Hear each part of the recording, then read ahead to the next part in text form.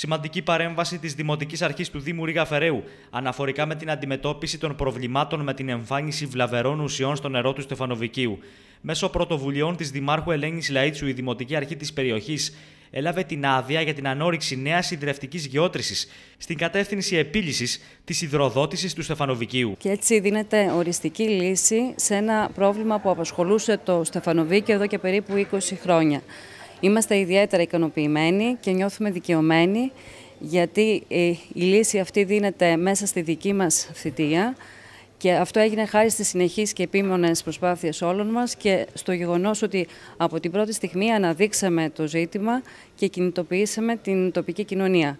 Όλο αυτό το διάστημα κάναμε συνεχείς αναλύσεις και ενημερώναμε τον κόσμο σχετικά με την ποιότητα των νερών και ήμασταν σε συνεργασία με τους αρμόδιους φορείς όπως είναι η Διεύθυνση Υγείας, η Διεύθυνση Υδάτων, ο ΙΓΜΕ, τα Υπουργεία Εσωτερικών ε, και Περιβάλλοντος.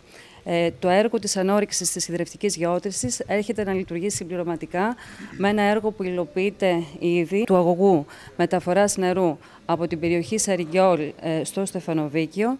Είναι ένα έργο προϋπολογισμού 455.000 ευρώ και έχει χρηματοδότηση από την Περιφέρεια Θεσσαλίας. Υλοποιείται ένας αγωγός μήκους 8 χιλιόμετρων και το έργο θα ολοκληρωθεί τις επόμενες μέρες μέσα στον Απρίλιο. Η κυρία Λάιτσου διαμήνυσε προς κάθε κατεύθυνση ότι παρά τη δύσκολη οικονομική συγκυρία, η Δημοτική Αρχή του Δήμου Ρίγα Φεραίου έχει πρώτη στο μέλημα τη διασφάλιση της υγείας των δημοτών και καταβάλει προσπάθεια σε πολλά επίπεδα για τη βελτίωση της καθημερινότητάς τους. Και αυτό πλέον γίνεται στην πράξη και όχι στα λόγια.